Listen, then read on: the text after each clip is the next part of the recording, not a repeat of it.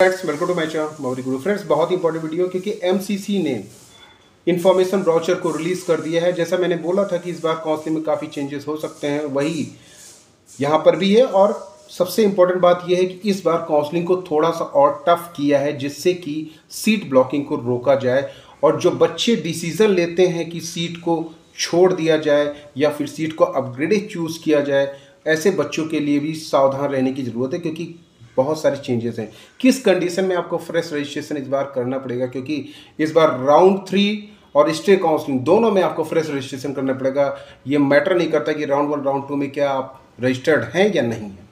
तो calculative decision आपको लेना पड़ेगा कि अगर आपको लगता है कि हाँ राउंड वन राउंड टू में आपको सीटें नहीं मिलेंगी तो सीधे राउंड थ्री में आप रजिस्ट्रेशन करिए। वरना राउंड वन में अगर आप करोगे राउंड टू में राउंड टू के बाद आपकी काउंसलिंग वैसे भी एग्जिट हो जाएगी राउंड थ्री में फिर से आपको रजिस्ट्रेशन करना पड़ेगा।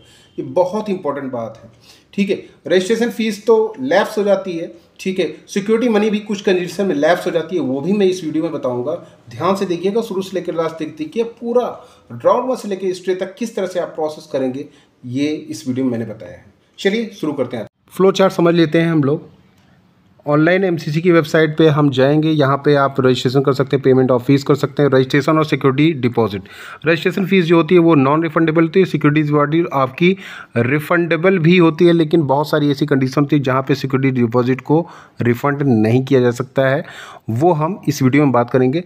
एमसीसी की वेबसाइट में आप चॉइसेस को लॉक और मॉडिफाई कर सकते हैं और प्रोसेसिंग ऑफ़ रिज़ल्ट भी यहीं पे होता है। अब सबसे पहले बात करते हैं राउंड वन की, जो कि बहुत ज़्यादा इंपॉर्टेंट है। राउंड वन में मान लीजिए आपने चॉइसेस भरी और आपको आपका इंस्टीट्यूट मिला नहीं, कोई भी सीट नहीं मिली है तो आप डायरेक्टली राउंड टू में सीधे जा सकते हैं। अगर मान लीजिए राउंड वन में आपको सीट अलॉट हो गई है, ठीक तो आपके साथ कुछ कंडीशंस बनेंगी। पहला पहला कंडीशन ये है कि आप उस इंस्टीट्यूट में रिपोर्ट करिए जिस, जो आपको मिला हुआ है, ठीक है? एडमिशन फॉर्मेलिटीज़ डॉक्यूमेंट के साथ आप जा सकते हैं।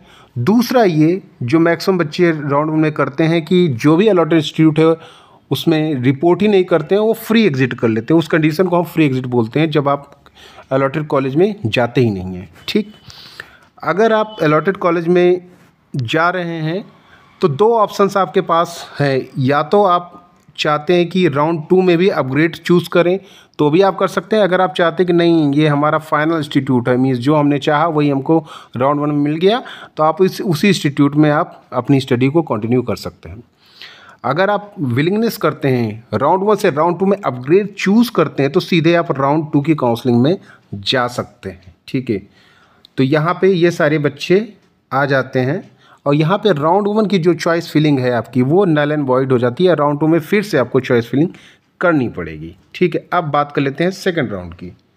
सेकेंड राउंड में अगर सीट अलॉटमेंट नहीं होता है, पहला कंडीशन अगर नहीं होता है तो आप फर्दर राउंड में जा सकते हैं, कोई इशू नहीं है। राउंड वन में भी नहीं मिला राउंड टू में भी नहीं मिला तो सीधे थर्ड राउंड में आप जा सकते हैं, वहाँ ट्राई कर सकते हैं। अगर आपको राउंड टू में सीटें मिली तो दो तीन कंडीशन बनती है। अगर आप राउंड वन से अपग्रेड करके आए हैं, ठीक है तो आपको राउंड वन में जो अलॉटेड सीटें जहाँ पे आपने ग्रेड चूज़ किया था, वहाँ से रिलीविंग लेटर ला के राउंड टू में आपको आना पड़ेगा। यहाँ पे आपको सीटें ज्वाइन करनी पड़ेगी। अब देखिए कंडीशन क्या है? ये बहुत ज़्यादा इंपॉर्टेंट है। Seat allotted in round two but not reported not join security deposit will be forwarded मतलब अगर आपको राउंड टू में सीट मिली है और आप उसको रिपोर्ट नहीं कर रहे हैं या फिर उसको ज्वाइन नहीं कर रहे हैं तो आपकी जो सिक्योरिटी मनी है वो लैप्स हो जाएगी। राउंड टू के बाद ही ये शुरू होना शुरू हो जाता है, ठीक है? अगर, इसके अलावा, अगर आप रिपोर्ट करते हो, ठीक है? Report to allotted college complete admission formalities can upgrade but can not resign यहाँ पे आप राउंड टू में आप अगर आप रिपोर्ट करते हो तो यहाँ पे आप अपग्रेड तो चूज़ कर सकते हो. लेकिन राउंड टू में सीट को रिज़ाइन नहीं कर सकते हो, ध्यान दीजिएगा. बहुत तगड़ा रूल इस बार बन चुका है. राउंड टू की सीटों को आप रिज़ाइन नहीं कर सकते हैं. आप अपग्रेड भले चूज़ कर सकते हैं, लेकिन राउंड टू की सीटों को रिज़ाइन नहीं कर सकते हैं. जान लीजिए. ठीक है? इसके अलावा, अगर आपको राउंड टू में भी सीटें नहीं मिली हुई हैं, ठीक है तो यहाँ पे आपकी काउंसलिंग एग्ज़िट हो जाएगी। मीन्स ख़त्म आपकी काउंसलिंग ठीक है। राउंड थ्री का प्रोसेस बिल्कुल डिफरेंट होगा। राउंड थ्री में क्या होगा? ये देखिए राउंड थ्री में fresh registration choice filling for round three round two choices will be मतलब आपको राउंड वन राउंड टू में अगर सीटें नहीं भी मिली हुई हैं फिर भी राउंड थ्री में आपको फिर से रजिस्ट्रेशन करना पड़ेगा। या तो आप डायरेक्टली राउंड थ्री में रजिस्ट्रेशन करिए राउंड वन राउंड टू में ना करिए, अगर आपको लगता है कि सीटें नहीं मिली। नहीं तो राउंड थ्री में तो आपको फ्रेश रजिस्ट्रेशन करना ही करना है। ठीक है? अगर यहाँ पे सीट अलॉट हो जाती है, ठीक है? तो आप रिपोर्ट करिए इंस्टीट्यूट को, ठीक है? फॉर्मेलिटीज़ पूरी करिए। और अगर आप अपग्रेड करते हैं ठीक है अपग्रेड चूज़ किए हुए हैं। तो राउंड टू का जो रिलीविंग लेटर है, उसके साथ आप रिपोर्ट करिए राउंड थ्री की सीट को, ठीक है। और राउंड थ्री में भी अगर आप ज्वाइन कर लेते हैं तो अपग्रेड भी नहीं कर सकते रिज़ाइन भी नहीं कर सकते। राउंड थ्री के बाद मैक्सिमम काउंसलिंग आपकी ख़त्म हो जाएगी। अगर आप सीट अलॉट हुई है राउंड थ्री में, ठीक है, जान लीजिए बहुत इंपॉर्टेंट रूल है। राउंड थ्री में अगर आपको सीट अलॉट हुई है और आप उसको ज्वाइन नहीं करना चाहते हैं तो एग्ज़िट आप कर सकते हैं, ठीक है? Exit with forfeit elimination can not participate in further round of counselling. आप राउंड थ्री के बाद तो कोई काउंसलिंग आगे आप प्रोसेस ही नहीं कर पाओगे, यहाँ से आपकी काउंसलिंग ख़त्म हो जाएगी।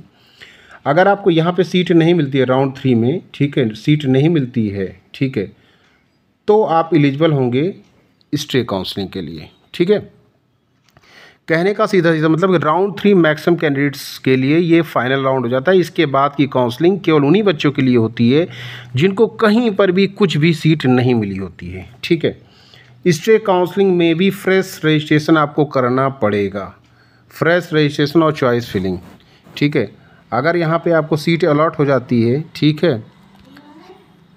तो आपको ज्वाइन करना पड़ेगा और ज्वाइन करने के बाद आप उसको रिज़ाइन नहीं कर सकते हैं। ठीक है?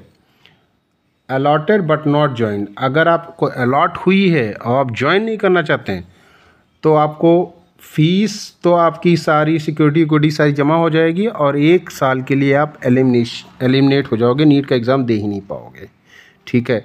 तो बहुत ध्यान से आप काउंसलिंग पार्टिसिपेट करेंगे, क्योंकि राउंड थ्री और स्टे राउंड इन दोनों में आपको फ्रेश रजिस्ट्रेशन करना पड़ेगा। ठीक है? राउंड टू तक तो ठीक है सारा आ, चल जाएगा। लेकिन राउंड थ्री और राउंड राउंड फोर में स्टे काउंसलिंग में आपको फ्रेश रजिस्ट्रेशन करना पड़ेगा। और जब अपग्रेड आप चूज़ करें तो ध्यान से चूज़ करें क्योंकि ये काउंसलिंग का रूल काफ़ी चेंज हुआ है। और यहाँ पे सीट ब्लॉगिंग जैसे मैंने बताया है को अवॉइड करने के लिए ही ये सारा रूल बना हुआ है।